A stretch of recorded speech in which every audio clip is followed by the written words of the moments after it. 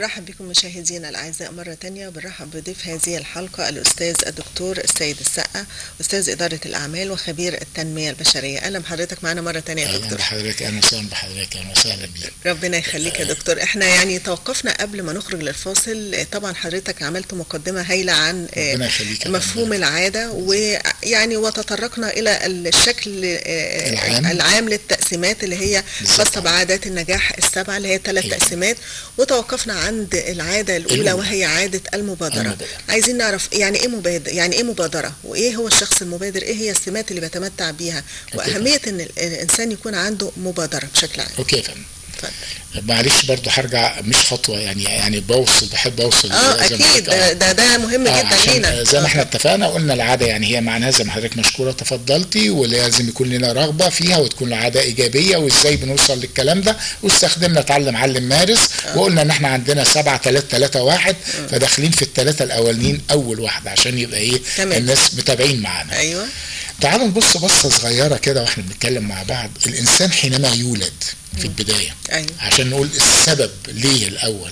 يعني إيه هي وليه وإزاي؟ زي ما إحنا اتفقنا مع بعض من ثلاث حاجات. آه.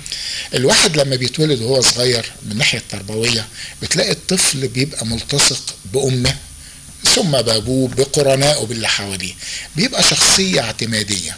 حتى الأم لو بعدت عن الطفل هتلاقي الطفل في الحالة دي بيعيط ويبكي مش جعان ولا مش عايز يغير ولا مش عايز حاجة.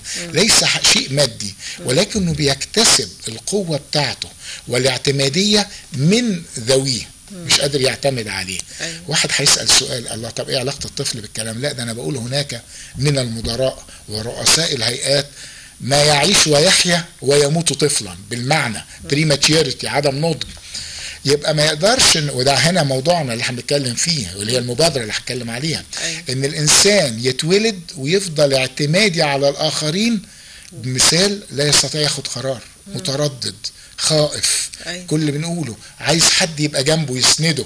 وده نلاحظها حتى لو حتى ناخد مظاهر. أنا بقول الأول ليه؟ السببية. عايزين آه. ليه نعرف المبادرة دي؟ فتلاقيه بمنتهى البساطة لو كانت عنده سكرتيرة والنبي يا فلانة تقولي لي إيه؟ لو كان عنده بتاع طب رأيك إيه؟ في البيت مثلا تلاقيه مش رأي يعني ديمقراطي. ما يخطوش خطوة إلا لما حد يقول يقولها له. ويقولها له. طب ودول ممكن يحققوا مثلا نجاح حضرتك بتقول طبعاً. مدير ويقول لا ما. بيحققش. لو فضل بس بس يعني وصل لدرجة إن هو بقى رئيس عمل مثلا. ما هي المشكلة آه. المشكلة هنا وصل إزاي؟ بالنجاح. آه. المشكلة وصل إزاي؟ أيوة يعني هو بالظبط. إحنا عايزين نوصل بالظبط يعني. هو المفروض لو كان أصلا في الاختيار المعايير ما يوصلش يعني بالظبط إنما إحنا بنقول آه. حصل يعني آه. يعني هي كده عوامل وصلته أيوه آه. السؤال هل هو سيظل هكذا؟ لا عليه بعادات النجاح اللي إحنا هنتكلم عليها وعلى فكرة الكلام ده البرنامج اللي أنا بتكلم فيه ده تدريبي عالمي ومعظم رؤساء الدول خدوا هذا البرنامج بياخدوه وجها لوجه.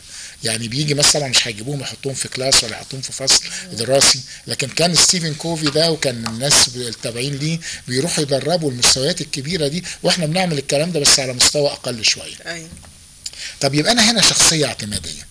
طبعا شخصية اعتمادية يعني لا تستطيع تاخد قرار مترددة خائفة وبتحصل ليها مشاكل نفسية تابعة جدا.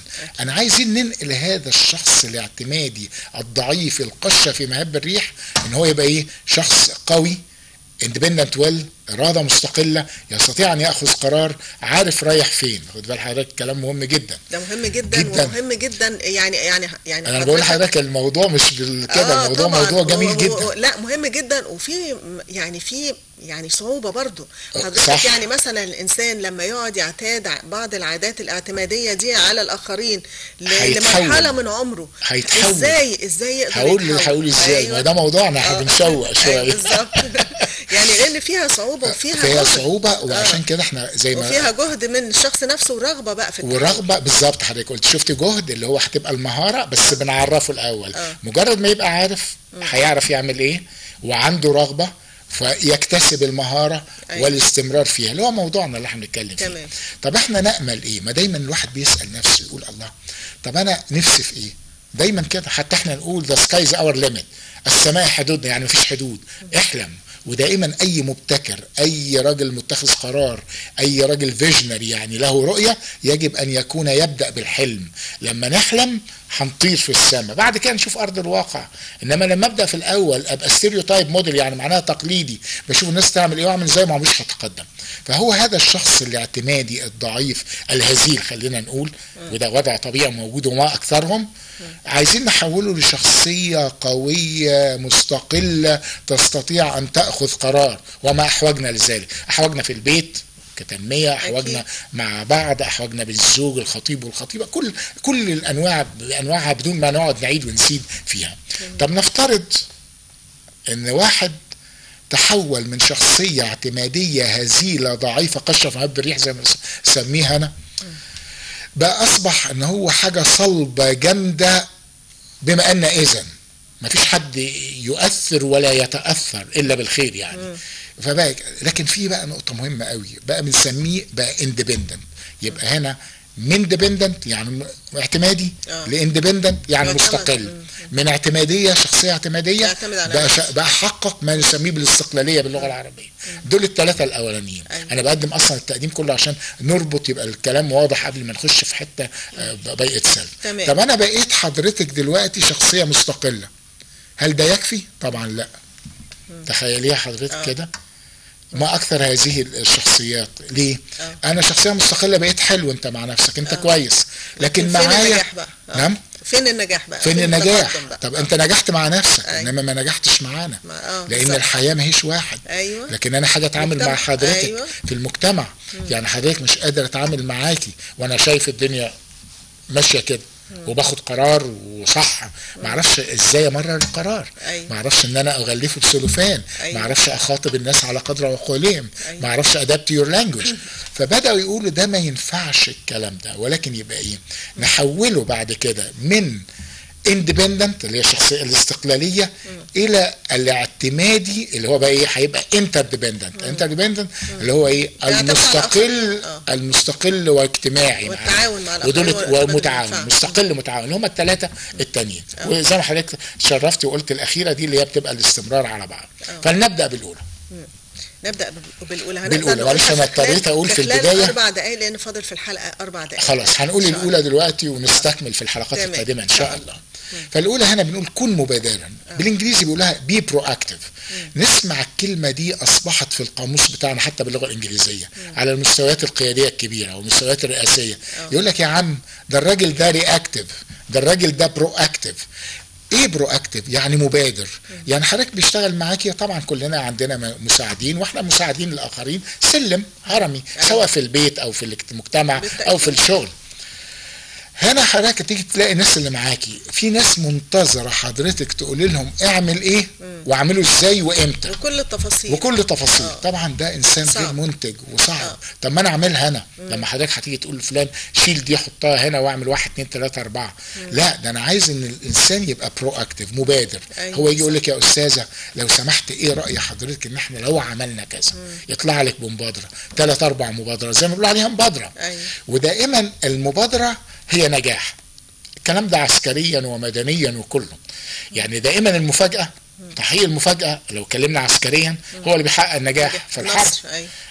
ثلاث أرباعها مفاجأة. عنصر المفاجأة. عنصر المفاجأة. وإحنا عارفين الكلام ده وشفناه ومارسناه في نفس الوقت على المستوى المدني ومستوى الابتكار كل ما يطلع إنسان بفكرة جديدة أو بحاجة جديدة الباقي مش هي إيه مش هيحصله. فهنا مبادر يعني معناه ليه رؤية. مش عارف طول النهار عم يقول أين الرؤية؟ فين الفيجن؟ آه. والرؤية دي ما هي إلا حلم والحلم ده عبارة عن أنا بحلم أكون أقول لك احلم بلا قيود. لأن لو حضرتك فكرت أو حضرتك المشاهد فكر في إن هناك قيد بالنسبة له عشان يحلم هيبقى مقيد مقيد آسف. فهنا في الحالة دي هو هيبقى مقيد بعدين الآخرين بس هو مقيد. فبالتالي لن ينتج لن يبدع لن أيوة. يبتكر. أيوة. وده على فكرة دي من الحاجات اللي إحنا بنيجي نتكلم في التفكير الابتكاري إن أصل عدم الابتكارية إن إحنا عمالين نقول افعل ولا تفعل وإياك أن تفعل دي حتة في التربية أو في السلوك أو في المجتمع. طب أنا بسيبه احلم كيفما شئت. النجاح كله بيبدأ بحلم. جميع الاختراعات اللي حوالينا بتبدأ بحلم. أكيد. كل الكلام ده بيبدأ برؤية. أيوة. رؤية. إحنا عشان نخلي هذه الرؤية من ناحية التنمية البشرية ومن ناحية علم النفس نقول له استخدم حواسك كلها. وانت قاعد كده فكر تخيل نفسك انت نفسك تبقى إيه؟ تبقى رئيس قناة نفسك تبقى رئيس مجلس إدارة نفسك وات اللي أنت عايزه تبقى دكتور جامعي. تخيل نفسك وأنت قاعد في هذا المكان.